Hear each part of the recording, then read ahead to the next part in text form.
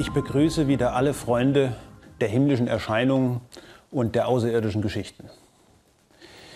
Liebe Zuschauer, vor ein paar Wochen haben wir bei einer Geburtstagsfeier gutes Essen. Wir saßen um den Tisch und verdauten vor uns hin bei einem guten Glas Cognac. Und auf einmal kam die Frage auf, sag mal, gibt es eigentlich Schnaps im Weltraum? Und wie so oft, wenn ein Astronom in der Runde ist, wird er natürlich gefragt, für was machen wir das alles und so weiter und so weiter und was soll das, ist doch so teuer. Und diese Person hat in der Zeitung gelesen, wieder mal hätten Astronomen mit ihren Teleskopen Schnaps im Weltraum beobachtet, also Alkohol. Und aus dieser Frage entspannt sich eine, ein Gespräch, das tief bis in die Nacht ging. Und da wurde noch so manches Gläschen gekippt dabei. Und die Geschichte, die sich dabei herausstellte, die will ich Ihnen mal erzählen. Die Frage heute ist also, gibt es Schnaps im Weltall?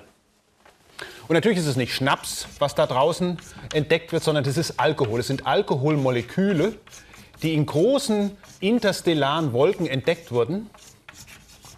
Und diese Moleküle, die Entstehung dieser Moleküle, das ist was ganz Besonderes. In solchen Wolken wie auf diesen Bildern hier zu sehen, in solchen Wolken hat man Moleküle entdeckt. Nicht nur Schnaps, man hat noch viel merkwürdigere Moleküle entdeckt. Also nicht nur Ethylalkohol und Methylalkohol, man hat Blausäure entdeckt, Kohlendioxid, Ameisensäure und in einem Fall sogar, und das muss noch bestätigt werden, die einfachste Aminosäure Glycin.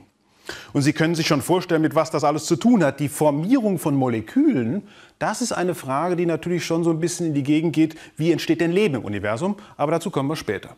Nun, was passiert eigentlich? Wie entstehen Moleküle? Der größte Teil des Weltalls ist angefüllt mit Wasserstoff und Helium. Und die schweren Elemente, also Stickstoff, Sauerstoff, Kohlenstoff, Eisen und so weiter, das muss ja erst in Sternen erbrütet werden. Und so ist es kein Wunder, dass man solche Moleküle in Wolken entdeckt, in denen Sterne entstehen und in denen Sterne bereits da sind. Und zum Beispiel solche hellen Flecke, wie man sie hier sieht, das sind gerade ganz junge Sterne, die in diesen Wolken das sie umgebende Material bestrahlen, anstrahlen, zum Leuchten bringen und sehr heiß werden lassen.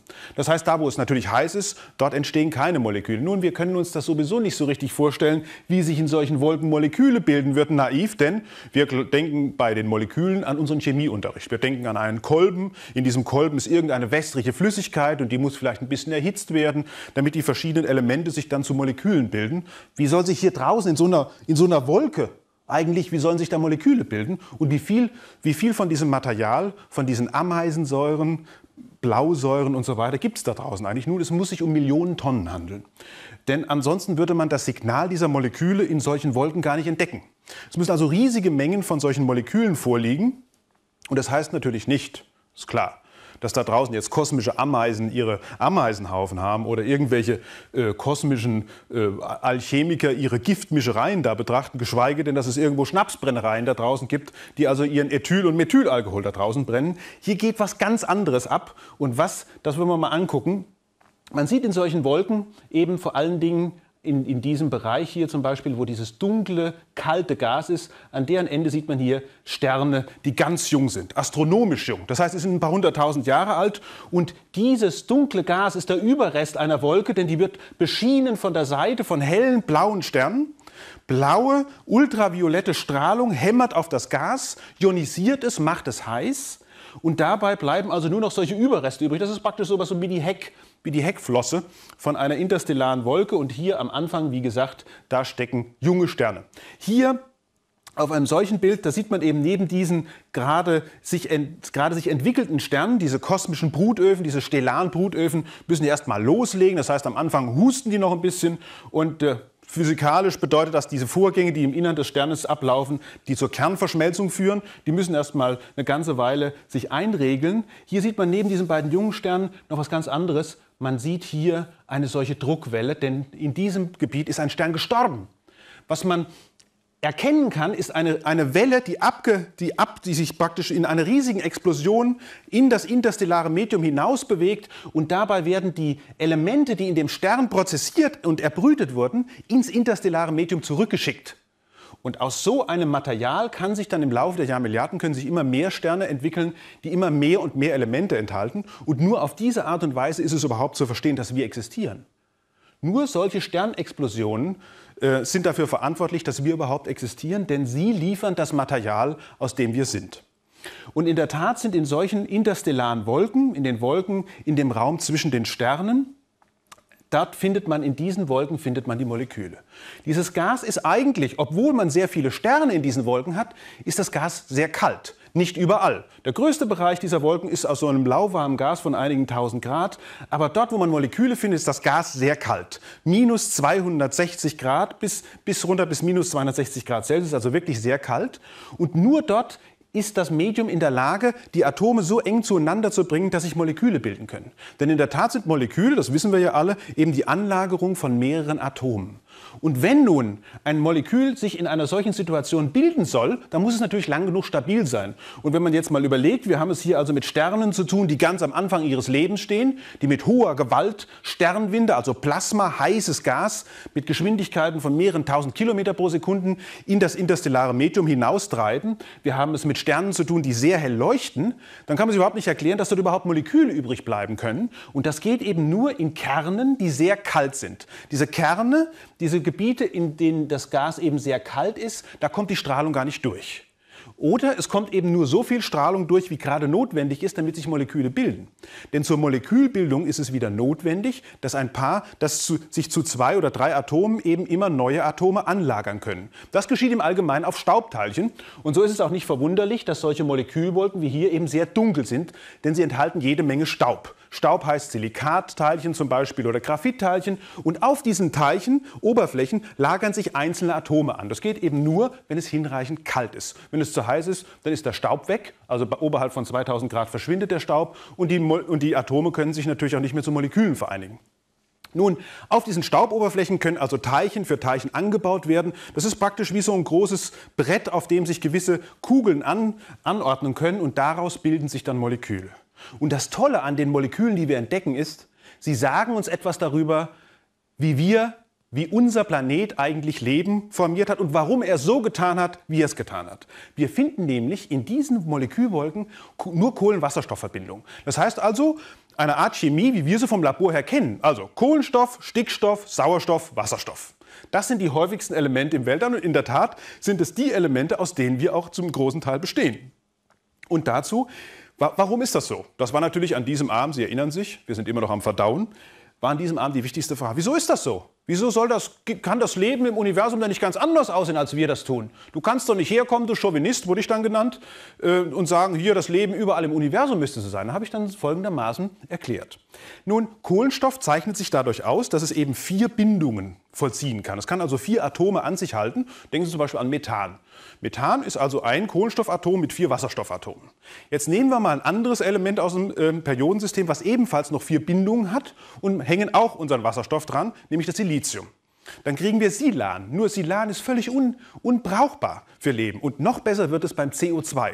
Wir, ne, wir, ich atme und Sie natürlich auch. Wir atmen ja alle Kohlendioxid aus. Haben wir auch das Treibhausproblem. Ne? Wenn wir Siliziumdioxid ausatmen würden, dann wäre das Sand, Quarz. Also völlig unmöglich.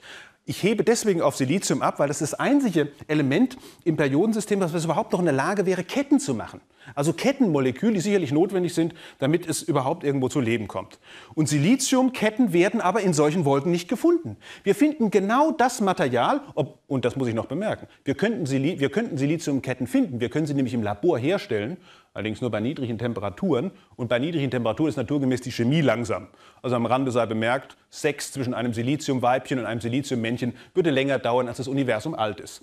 Also wir könnten sie entdecken, und zwar genauso, wie wir nämlich diese Kohlenwasserstoffmoleküle entdecken können. Denn wir machen im Labor einfach eine Spektralanalyse dieser Moleküle und gehen dann ans Teleskop und messen in dem Frequenzbereich von dem wir wissen, dass das Molekül auftauchen kann, messen wir dann solche Molekülwolken durch. Am Anfang wusste man das natürlich nicht, aber man hatte eine Idee darüber, dass solche Molekülwolken, dass solche Gaswolken, die wie gesagt aus Wasserstoff und Helium bestehen im Wesentlichen, solche Moleküle enthalten könnten. Und dann hat man angefangen, die Detektoren an den Radioteleskopen einzustellen und man fand eben diese Moleküle. Und so könnte man auch die Siliziummoleküle finden, aber man findet sie nicht. Man findet Silizium nur in Form von Staub. Also Siliziumdioxid, Silikate gibt es einige. Und das bedeutet ganz Wesentliches. Und jetzt kommen wir schon langsam in einen Bereich, der eigentlich von der Astronomie ein bisschen weggeht und schon mehr einen, stark spekulativen Charakter hat. Das bedeutet nämlich, dass im ganzen Universum chemische Vorgänge genauso ähnlich, genauso, man muss es präzisieren, genauso ablaufen wie bei uns. Kohlenstoff ist überall im Universum der gleiche Kohlenstoff. Das heißt, er hat überall im Universum die gleichen Bindungseigenschaften. Und das ist genau das, was wir sehen. Wir sehen in solchen Molekülwolken eben Kohlenstoffchemie. Wir sehen, dass die Atome, die sich mit dem Kohlenstoff am besten verbinden, überall im Universum die gleichen sind. In solchen Wolken sehen wir eben Kohlenwasserstoffverbindungen. Wir sehen zum Beispiel Ameisensäure. Ameisensäure ist ein kompliziertes Molekül, was sich, denke ich mal, in einer solchen Umgebung ohne weiteres nicht bilden kann. Wenn sich aber Ameisensäure bilden kann und in einer solchen Menge, dass wir das beobachten können, dann können wir auch erwarten, dass sich noch viel komplexere Moleküle in so einer Umgebung bilden können. Und was soll ich Ihnen sagen? Jetzt kommen wir langsam zur Sonne zurück. In den Meteoriten, die unser Sonnensystem durchlaufen und die als das Urmaterial des Sonnensystems gelten, findet man Aminosäuren. Und zwar sehr große Aminosäuren, Aminosäuren, die bis aus, zu 26 Atomen, aus bis zu 26 Atomen zusammengesetzt sind. Und das Interessante ist nun, wenn es stimmt, dass Meteoriten das Urmaterial sind, der, praktisch der Rest vom, von der Bildung des Sonnensystems, und sie zeigen in ihrem Innern an, dass sich in ihnen Aminosäuren haben bilden können, in einer Umgebung, in der sich eigentlich nur, also ein junger Stern, nämlich unsere junge Sonne, gerade aufmachte, richtig aufzuheizen, das, um, das umgebende Material wegzublasen durch den Sonnenwind. In, dieser, in, dieser ganzen, äh, in diesem ganzen Szenario dürfen wir nicht vergessen, haben sich die Planeten gebildet und, da, und die Planeten haben sich, zusammen, haben sich praktisch zusammengebacken aus verschiedenen Planetesimalen, also Felsbrocken, die miteinander zusammenstießen. In dieser ganzen Umgebung konnten Aminosäuren überleben. Und einige meiner Kollegen haben in den letzten Jahrzehnten immer wieder spekuliert, ob nicht das Leben auf der Erde von außen eingetragen wurde. Denn die Planetenentstehung ist eine Sache von Zusammenstößen. Ganz brutale Zusammenstöße von teilweise kilometergroßen Brocken äh, haben dazu geführt, dass, sie, dass sich also Planeten gebildet haben. Und dabei könnten nach Meinung einiger Kollegen die Aminosäuren übrig geblieben sein. Und das Leben hat sich dazu entschlossen, einen Teil dieser Aminosäuren dazu zu verwenden, dass daraus äh, lebendige Lebewesen werden. Wie genau, wissen wir natürlich noch nicht. Das Interessante ist nämlich, die Meteoriten enthalten Aminosäuren, die gar nicht äh, von den lebendigen Lebewesen hier auf der Erde benutzt werden. Also unser genetischer Code setzt sich aus Aminosäuren zusammen, die eine ganz bestimmte Struktur haben. Und diese Struktur ist ausgewählt worden, während die Meteoriten ein großes, ein großes äh, Sammelsurium von verschiedenen Aminosäuren anbieten, aber de facto ist es nicht benutzt worden. Und so bleibt also gegen Ende, so blieb gegen Ende dann wirklich nur noch die Sache übrig, dass alle da saßen, schon leicht angeheitert und sagten, hör mal, was ist denn das für eine Geschichte, die du da erzählst? Wir fangen an mit irgendwelchen Molekülwolken draußen im Weltall, tausende von Lichtjahren von uns entfernt, in denen jetzt gerade irgendwelche Sterne entstehen.